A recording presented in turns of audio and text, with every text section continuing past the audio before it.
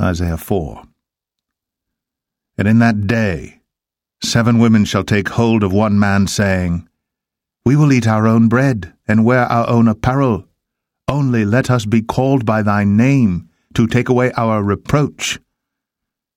In that day shall the branch of the Lord be beautiful and glorious, and the fruit of the earth shall be excellent and comely for them that are escaped of Israel.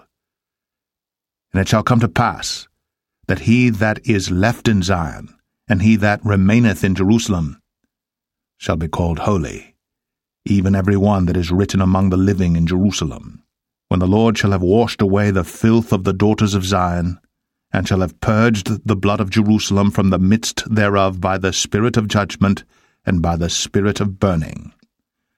And the Lord will create upon every dwelling place of Mount Zion and upon her assemblies a cloud and smoke by day, and the shining of a flaming fire by night, for upon all the glory shall be a defence.